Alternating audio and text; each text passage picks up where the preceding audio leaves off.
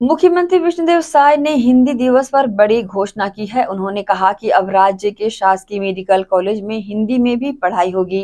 जहाँ इसी सत्र से मेडिकल कॉलेज में हिंदी पुस्तकों का वितरण शुरू होगा।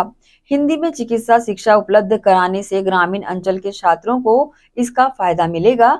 मुख्यमंत्री ने राजधानी स्थित अपने निवास कार्यालय में स्वास्थ्य मंत्री श्याम बिहारी जायसवाल की उपस्थिति में पत्रकारों को संबोधित करते हुए कहा कि हमारी सरकार ने ये निर्णय लिया है कि एमबीबीएस की पढ़ाई की व्यवस्था भी हम हिंदी में करेंगे। इस साल के प्रथम सत्र 2024-25 में एमबीबीएस की पढ़ाई की सुविधा हिंदी में भी उपलब्ध होगी। इसके लिए छात्र छात्राओं की संख्या अनुरूप आवश्यक पुस्तक उपलब्ध कराने के निर्देश स्वास्थ्य विभाग को दिए गए हैं। सीएम विष्णुदेव साय की घोषणा को लेकर आईएमए के पदाधिकारी डॉक्टर राकेश गुप्ता ने कहा कि भारतीय चिकित्सा शिक्षा का स्तर पूरे विश्व में अद्वितीय है। चिकित्सा शिक्षा की भाषा का माध्यम बगैर तैयारी के बदलना अनुचित है। छत्तीसगढ़ के डॉक्टर राष्ट्रीय मानकों को प्राप्त नहीं कर पाएँगे। आज के प्रेस वार्ता में उपस्थित हमारे छत्तीसगढ़ के स्वास्थ्य मंत्री श्री श्याम बिहारी जायसवाल जी, पंकज झा जी और सभी मीडिया के साथीगण। आज हिंदी दिवस है। समस्त छत्तीसगढ़ वासियों को मेरी तरफ़ से हिंदी दिवस की बहुत बहुत बधाई, शुभकामनाएँ। और आज हमारी सरकार एक बड़ा निर्णय ले रही है। हिंदी दिवस मनाने की सार्थकता तभी होगी जब हम शासन, प्रशासन और शिक्षा के हर स्तर पर हिंदी को लागू करेंगे, हिंदी में कामकाज करेंगे। और इसी क्रम में हमारी सरकार ने यह निर्णय लिया है कि एमबीबीएस की पढ़ाई की व्यवस्था भी हम हिंदी में करेंगे। इस साल प्रथम सत्र में एमबीबीएस की पढ़ाई की सुविधा हिंदी में भी उपलब्ध होगी।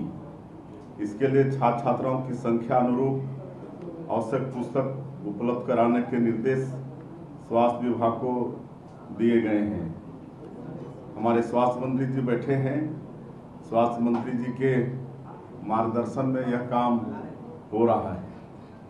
हम अपनी शिक्षा नीति को हर स्तर पर पुरानी मैकाले की साम्राज्यवादी शिक्षा नीति से अलग कर रहे हैं।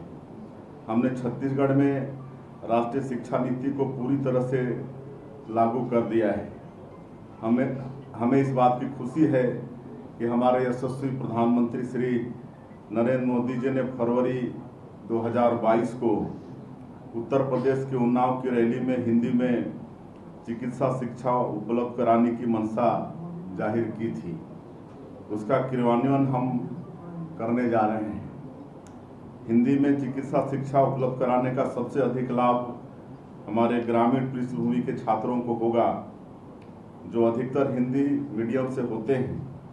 जो प्रतिभाशाली होते हैं, लेकिन अंग्रेज़ी की वजह से उन्हें चिकित्सा पाठ्यक्रम में कुछ दिक्कतें आती हैं।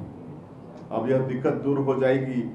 इससे चिकित्सा छात्र छात्राओं का आधार भी मज़बूत होगा और अच्छे चिकित्सक तैयार करने में इससे अधिक मदद मिलेगी।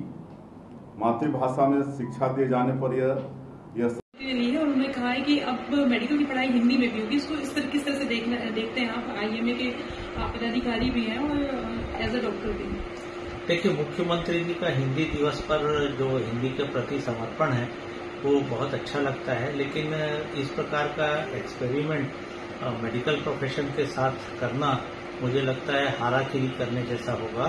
सारे इंटरनेशनल जर्नल सारी किताबें, सारी पढ़ाई का माध्यम अंग्रेज़ी में है और ऐसा प्रयोग करके शिवराज सिंह जी की सरकार मध्य प्रदेश में फेल हो चुकी है। उन्होंने बहुत लंबी चौड़ी घोषणाएँ की थी कि पूरी पढ़ाई हिंदी में होगी, लेकिन वो किसी प्रकार का उठाव उस घोषणा का नहीं हो सका।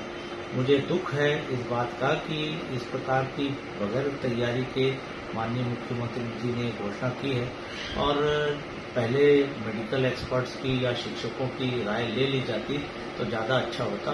मुख्यमंत्री की घोषणा परवान चढ़ेगी, इसमें बहुत